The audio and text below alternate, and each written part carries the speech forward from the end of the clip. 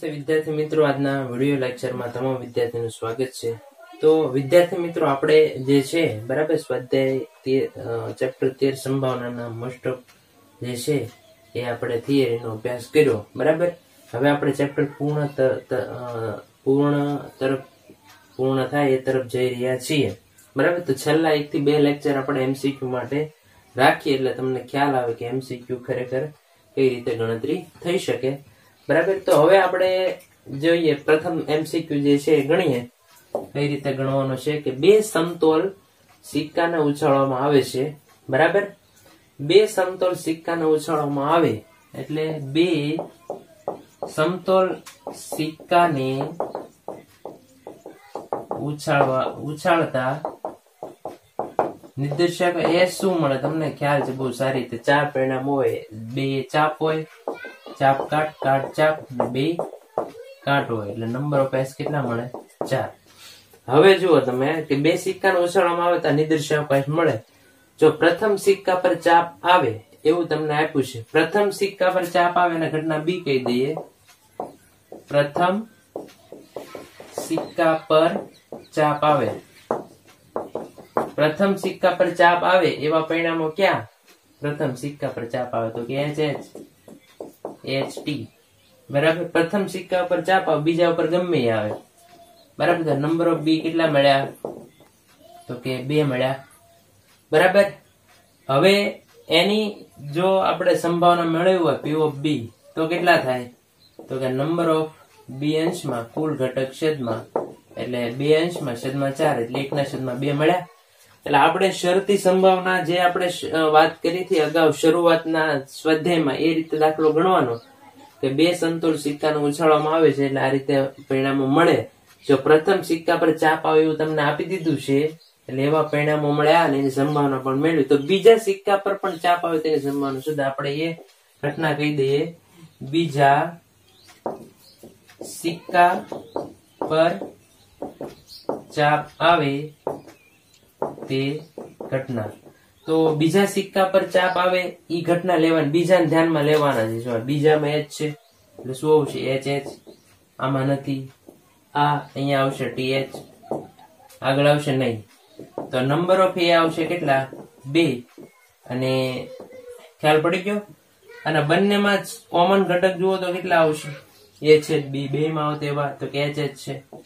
H H એટલે એની સંભાવના જો આપણે મેળવીએ છેદગણની સંભાવના, તો શું આવશે?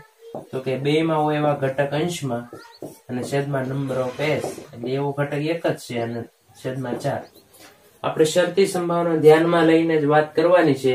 ચાર ઘટક મળ્યા બી માં બે ઘટક આવે, એ ઘટના આપણે ધારી લીધી. આ ક્રમ ફેરવો તો ફેરવી શકાય. હવે જો આપણે કઈ રીતે દાખલો ગણવાનો?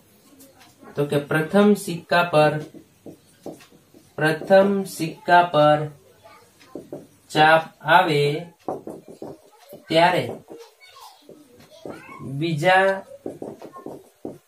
સિક્કા પર પણ ચાપ આવે તેની સંભાવના એટલે શરતી સંભાવના પ્રમાણે આપણે દાખલો ગણી શકીએ. પ્રથમ સિક્કા પર ચાપ એવું તમને આપ્યું. પ્રથમ સિક્કા માટે આપણે બી ધાર્યો એટલે ઈ છેદમાં આવશે. અને બીજા સિક્કા પર ચાપ એવું તમને કીધું છે એટલે અંશમાં એટલે ઉપર બંનેમાં છેદગણની સંભાવના અંશમાં છેદમાં પીઓ બે આવે બંનેમાં છેદગણની સંભાવના એકના છેદમાં ચાર અને પીઓ બી કેટલા? એકના છેદમાં બે. બરાબર, બે બે ઉડી જાય એટલે વધે એકના છેદમાં બે અને જવાબ કયો આવશે એવો? બી જવાબ માન્ય ગણાય. ખ્યાલ પડી ગયો, શરતી સંભાવના આધારિત આપણે દાખલો ગણી શકાય. બરાબર, શરતી સંભાવના. તો હવે નેક્સ્ટ પછીનો દાખલો ગણીએ આપણે. બરાબર? જોઈ લો. નેક્સ્ટ બીજો દાખલો ગણીએ આપણે.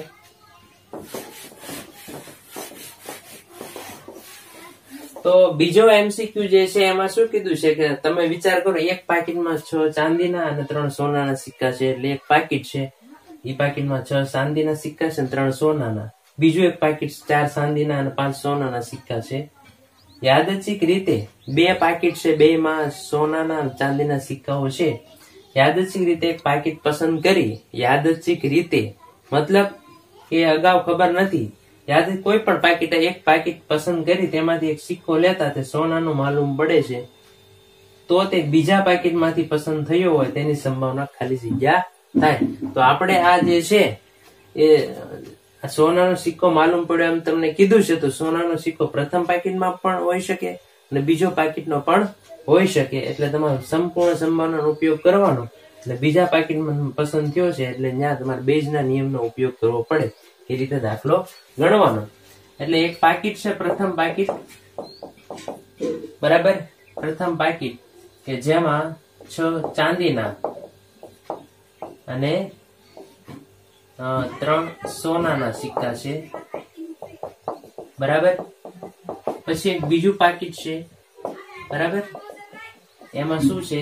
છ એમાં છે ચાર ચાંદીના, બરાબર? અને પાંચ સોનાના, ચાર ચાંદીના, અને પાંચ સોનાના. સિક્કા આપ્યા છે. હવે વિદ્યાર્થી મિત્રો, આપણે સૌથી પહેલા પાકીટ પસંદ કરવાનું છે એટલે આપણે ઘટના ધારી લઈએ. તો એને આપણે બી વન કહેશું. ધારો કે પ્રથમ પાકીટ પસંદથી પ્રથમ પાકીટ પસંદ થાય તે ઘટના કહેશું. તો બે પાકીટ છે, તો એની ઘટના સંભાવના આવશે એકના છેદમાં બે. ધારો કે બીજું પાકીટ પસંદ થયું હોય બી ટુ તો કે બીજું પાકીટ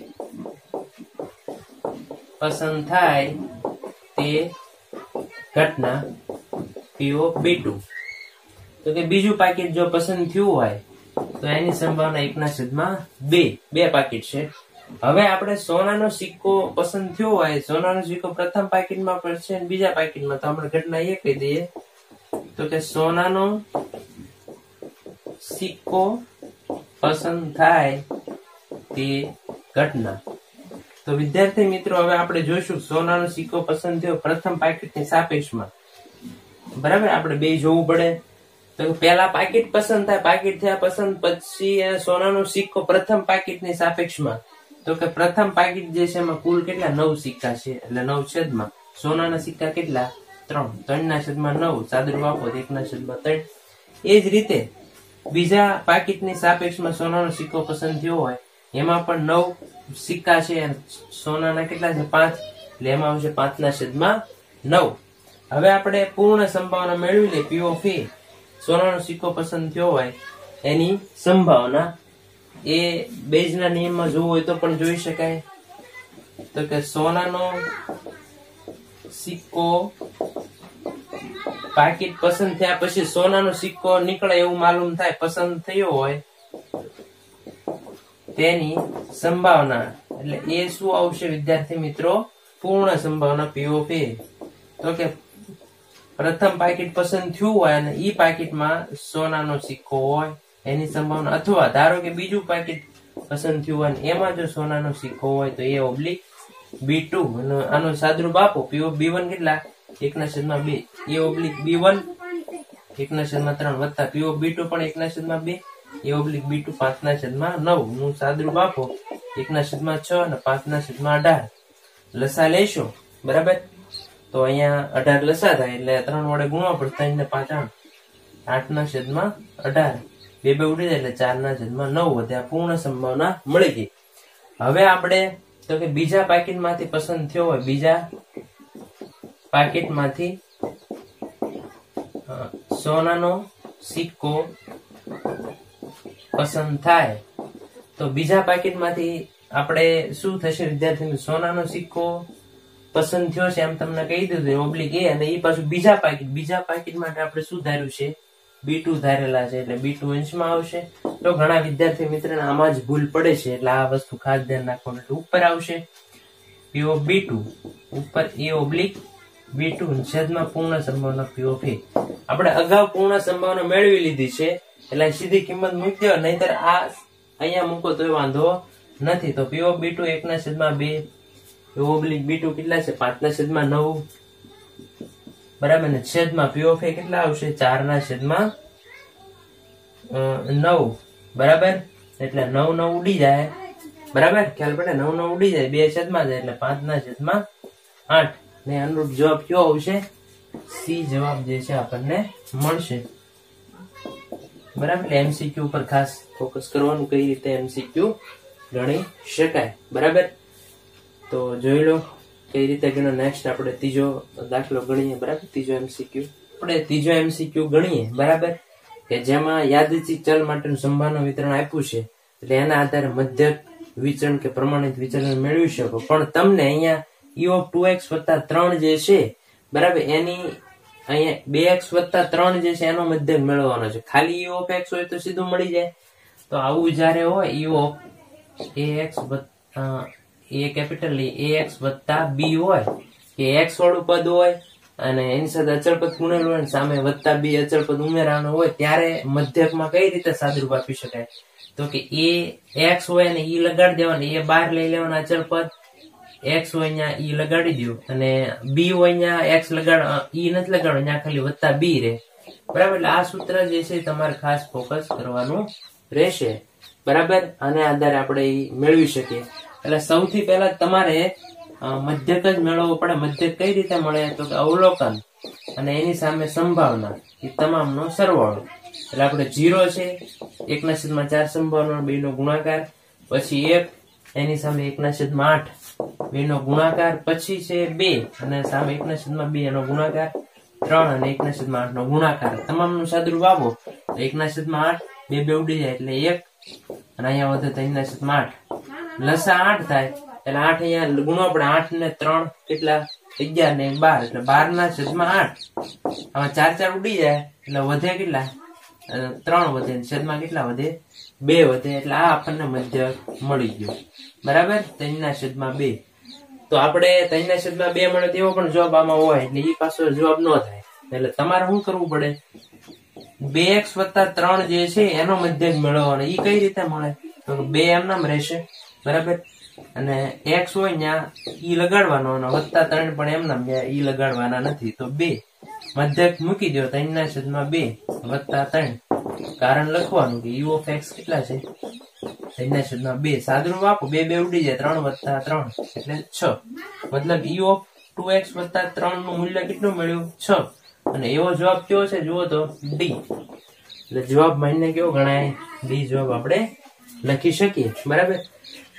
તો વિદ્યાર્થી મિત્રો, આ રીતે ખાસ જે છે એ તમારે મધ્યક જે છે એ મેળવવાનો સીધો ઈ ઓફ તો મેળવી શકે, પણ આવું જ્યારે હોય ત્યારે મધ્યક એક્સ જે હોય, બરાબર? એમાં કોઈ પણ અચળ પદ ઉમેરાણું હોય તો એ જવાબદાર ગણાય, બરાબર? એટલે એ વત્તા બી રાખવા પડે. એ રીતે આપણે ગણતરી કરવી પડે, બરાબર? હવે એ જ રીતે આપણે જોઈએ નેક્સ્ટ આગળનો ચોથો દાખલો ગણીએ, કઈ રીતે ગણવાનો છે. તો હવે આપણે ચોથો એમસીક્યુ જે છે એમાં ચોથામાં શું કીધું છે વિદ્યાર્થી મિત્રો કે દ્વિપદી વિતરણના યાદચ્છિક ચલ x નો મધ્યક અને વિચરણ આપેલો છે. બરાબર? તો કે દ્વિપદી વિતરણના યાદચ્છિક ચલ x નો મધ્યક આપ્યો છે અને વિતરણ છેલ્લા લેક્ચરમાં જે આપણે ચર્ચા કરી હતી કે દ્વિપદી વિસ્તરણ આપ્યું હોય, દ્વિપદી વિતરણની મદદથી આપણે સંભાવના કઈ રીતે મેળવી શકે? જ્યારે બર્નુલી પ્રયત્ન, વધુ પ્રયત્નો થતા હોય, ત્યારે સીધા સૂત્રની મદદથી ન મળે, ત્યારે દ્વિપદી વિતરણના સૂત્રનો ઉપયોગ કરવો પડે. એમાં આપણે મધ્ય કઈ રીતે હોય અને એ આપણે વાત કરી હતી. બરાબર? તો મધ્યક તમને આપ્યો છે. દ્વિપદી વિતરણ જે છે ને, દ્વિપદી વિતરણ. બરાબર? દ્વિપદી વિતરણ જે છે એમાં મધ્યક તમને એક આપેલો છે. મધ્યક. આપણે કઈ રીતે મળે ને એ પણ વાત કરી હતી. મધ્યક, દ્વિપદી વિતરણ જે છે એમાં કઈ રીતે મળતું હતું? તો કે એનપી ના સૂત્ર દ્વારા મળતું હતું. આપણે શું કર્યું હતું? એન અને એન પી અને ક્યુ ખબર હોય, એમાં સફળતા, નિષ્ફળતા અને પ્રયત્નોની સંખ્યા ખબર હોવી જોઈએ. દ્વિપદી વિતરણ જે છે એમાં મધ્યક એનપી કેટલો આપ્યો? અનુક્રમે ચાર છે. એનપી બરાબર ચાર. પછી શું? વિચરણ આપ્યું છે. તો કે વિચરણ જે છે, એ એન પી ક્યુ થાય. તો વિચરણ પાછું કેટલું આપ્યું છે? આપ્યું છે બે.